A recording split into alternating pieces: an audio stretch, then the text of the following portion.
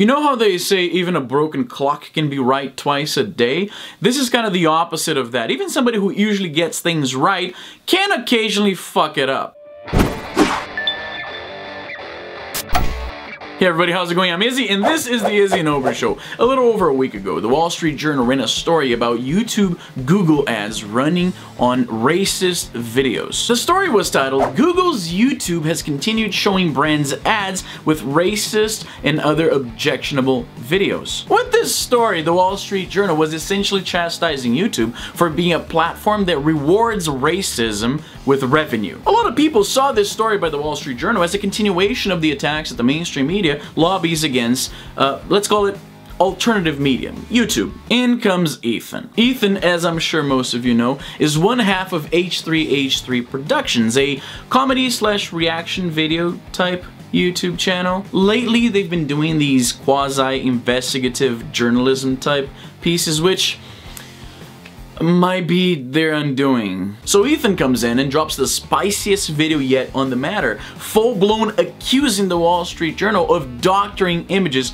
for the story. A guy who made one of the videos cited by this Wall Street Journal story got in touch with Ethan and provided him with a screenshot of the analytics for that video. According to the screenshots that Ethan received, one of these offensive videos had a sharp drop in revenue, which Ethan interpreted to mean that YouTube had flagged that video because of the offensive word in its title and stripped it of any ads. So the point being, whoever made that video was not seeing any revenue, therefore there were no ads in that video. Therefore, the Wall Street Journal must have doctored these images to show ads where none would have been. Does that make sense?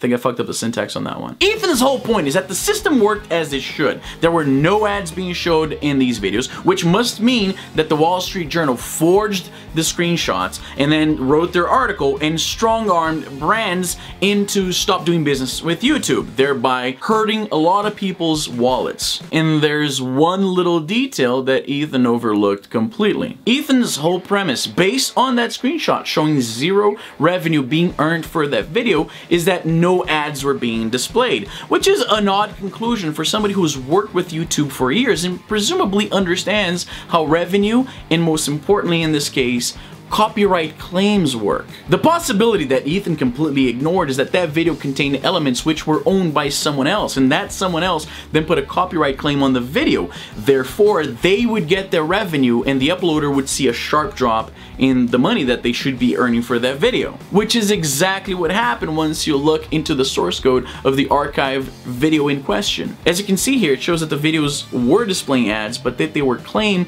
by an entity called Omnia Media Music. They were earning revenue uh, for that video. This struck me as such a weird argument to make. When the news first broke, I was not home, so I couldn't watch the whole video. And the first thing I thought was like, well, but what if the video was copyright claimed by somebody? I've had that happen to my videos. That's exactly what you would see on your end. But because the internet was in was in a frenzy over this. And because Ethan is has a pretty decent reputation on reporting things accurately I was thinking I'm sure he went over this. I'm sure he explains why this isn't the case. I'm sure there's more evidence in the video to support his findings. Nope. The other super weak argument in that video is that the images must be doctored because some of them showed the same view count which is again a very odd thing to say if you've been working with YouTube for a while and you have known of their let's say, infamy for not knowing how to count. Furthermore, three of these screenshots came from the same exact video that we showed was not monetized. In fact, two of them have the same exact view count. How is it possible to serve two different ads to the same exact view? Are you sure about that? YouTube view counts have been buggy forever. You can see it for yourself. Open any video, any video whatsoever, and just keep hitting F5. You're gonna reload that page, and you're gonna see that view count stay the same.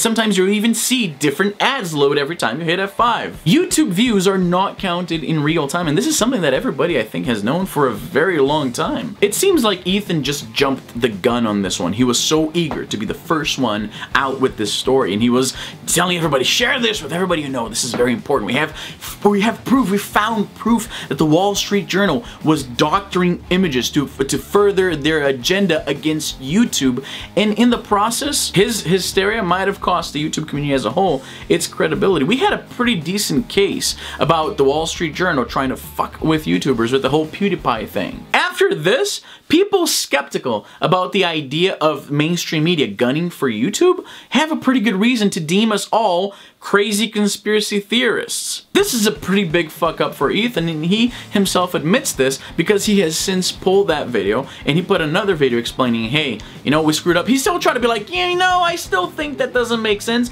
He did admit that he fucked up. And he himself pointed out the irony that in that video, he was chastising the Wall Street Journal for not being thorough and not actually checking their sources when he himself did that. So yeah, that is pretty embarrassing for the H3H3 brand. Like I said in the beginning, maybe this whole investigative journalism thing is just not for them. They got it right a couple of times, they got it massively wrong this time, and perhaps I'm being a little bit harsh on the guy. Or maybe not, because Ethan has been known to jump the gun in the past. Remember Humongous? Would you be surprised to find out Humongous never had cancer? Because from what Ethan said uh, on Twitter and that whole fundraising thing, it seemed like Humongous had cancer. Rudy is going through fucking cancer treatment. He had to then walk back that claim because he figured out that Humongous didn't actually have cancer. He was going for screening. So saying that the guy needed money for cancer treatment was him again kind of fucking things up. And I want to think, I want to say something here. Ethan is very clearly a well-meaning guy. He's a nice guy. I don't think he does, he did any of these things. I'm not, I'm not trying to say that the guy is, is being willfully dishonest with any of these things. I'm just saying he has this tendency of putting his foot in his mouth. And this time it just, it was more public than before. So Ethan, he's never gonna watch this, but you have two choices here. You can either, you can you can continue with this this whole new thing of, of investigating things and doing exposés on YouTube. It's, it's a great thing but you do have to be more thorough. But you gotta be more careful in the future. He made some pretty dumb accusations about an entity that has a lot more money than you, and I don't have to remind you, you were already on the legal chopping block. So you don't want another lawsuit, trust me. So two choices, either you continue with the whole investigative journalism thing, but be more thorough and don't publish something until you're certain of the findings, or just roll that whole thing back and, and do comedy, which is obviously your stronger suit. But I'm very curious about what you guys think. As always, leave the comments down below. And I, again, I, I have to say this, I'm still a big fan of Ethan. He's clearly a nice guy, he's a well-meaning dude, but he has to be more careful with these things. When you have a big audience like that, you have a responsibility. And while I commend him from, uh, for pulling the video down and explaining his mistake, we all know that these retractions never never reach as many people as the original accusation. So there is a responsibility. But as I said, I'm very curious about what you guys think. If it's your first time here in my channel, consider subscribing. And that's all the time I have for today. I'm Izzy and I'm done. Ah, uh, Ethan. That was pretty embarrassing. Uh, but, but you know what? When you're a professional opinion giver in a public platform, it can't be helped. You're going to say some dumb shit from time to time. And how you deal with that is what differentiates a well-meaning person from an asshole.